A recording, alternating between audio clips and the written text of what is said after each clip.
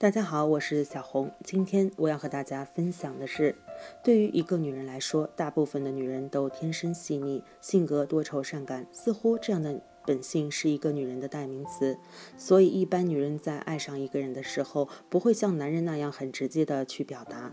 当然，拒绝一个男人的时候也是这样。女人因为矜持，因为内敛，他们会不好意思说出口。不得不说，以前人们往往谈情说爱的时候，彼此传达爱意只能用书信或者以见面的方式来诉说自己内心深处的情感。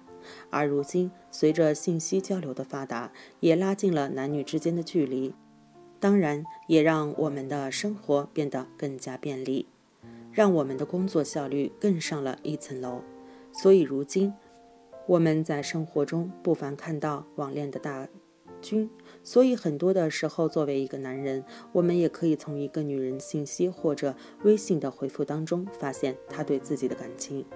当然，对于一个男人，由于恋爱经历的匮乏，或者是太过于自我，经常会被女人表面的善意所蒙蔽。说实话，其实判断一个女人心里。到底是不是有你？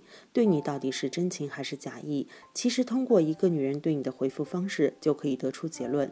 都说细节决定成败，其实判断一个人是不是真心对你也是这样。不妨想想，当你和女人聊的时候，她是怎么回复你的呢？是很用心，还是随便回复的那种？所以，当一个女人用这三种方式来回复你，说明她心里根本对你没有感觉，没必要浪费时间了。一很久才回复你的信息。说实话，一个真正心里有你的女人，一定会随时关注你的一举一动，会时不时的去看你的朋友圈或者微博，所以更期待你的消息。她会在收到你的消息之后，第一时间内就回复你，就算回复的晚了，也会和你说明具体的原因，不会凉了你的心。所以，若一个女人心里没有你，即使你给她发信息，她也不会在意。所以。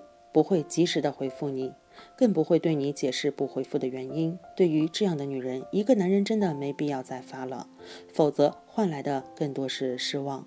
这样的女人真的不在乎你的感受，你等的再着急，心里再难受，她也是感受不到的。不妨想想，何必呢？即使你给她打电话或者见面，问她有没有收到关于你的信息，或者问她为什么不回复，她也只会轻描淡写对你说。他没有及时看到，当他看到信息的时候，也已经太晚了，所以索性就没有回复。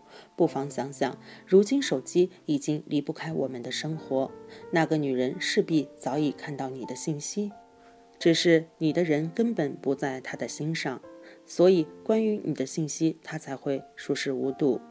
二，用敷衍的态度回复你。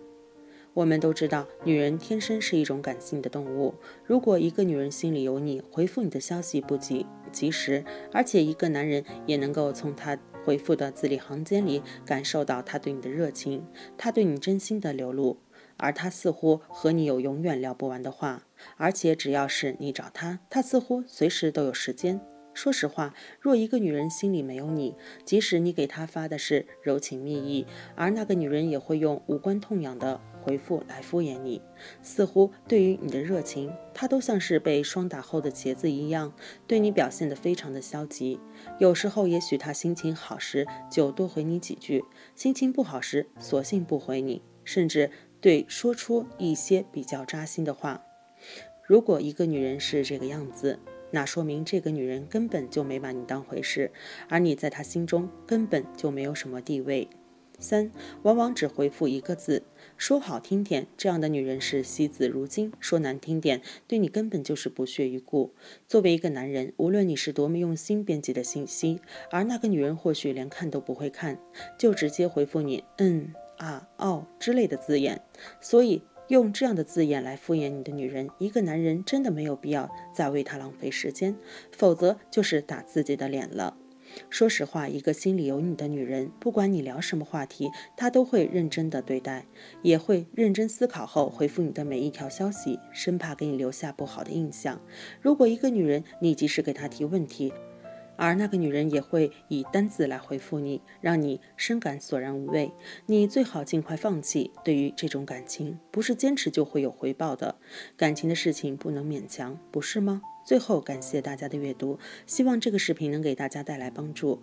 如果觉得对您有用，别忘了给小红点个赞或分享给身边的人，也欢迎大家在评论区留言讨论哦。